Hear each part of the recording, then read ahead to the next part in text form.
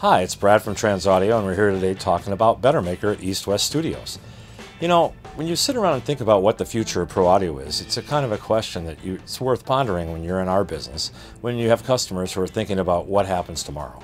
Well, BetterMaker is a really interesting idea that comes out of Poland that is an owner operator who developed a whole new way of thinking about hardware. Everybody's dream was, geez, I wish I had hardware that was controllable from Pro Tools. Well, BetterMaker has developed that and has it here now. BetterMaker has a line that started initially with a large scale mastering type EQ. Half of it was a parametric and the other half was a Pultec type EQ.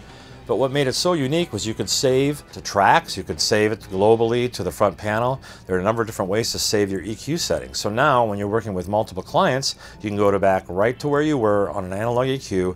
No need to set out all those recall sheets, no need to do all that manual work of taking pictures of front panels. The Better Maker EQ can enable you to just do that easily and completely transparently by just saving it within Pro Tools. Then he went a little bit further and he split the unit apart to bring the price down. So now we have just half of those, that mastering EQ, available in just the tech part or just the parametric part. And those are 500 series units that are breaking barriers below $1,500 each. And they're stereo units, so they're really a value. It's totally unique and completely different than everything else.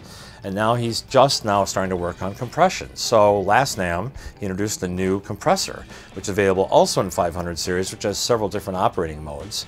And today, he's brought us to East West a prototype of the new mastering limiter.